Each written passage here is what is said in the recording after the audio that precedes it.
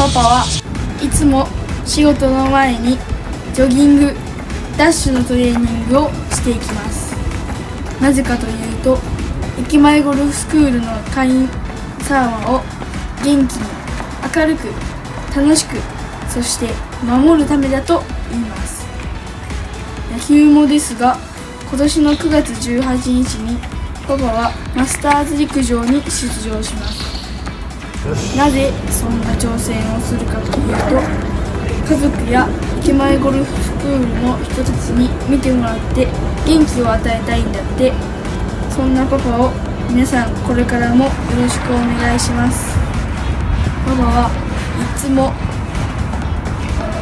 360キロカロリーを超える運動量をいつもこなしています。いつもそのスマホのつも見せて今日はその姿がいつもかっこいいです。だから自分も頑張りたいと思います。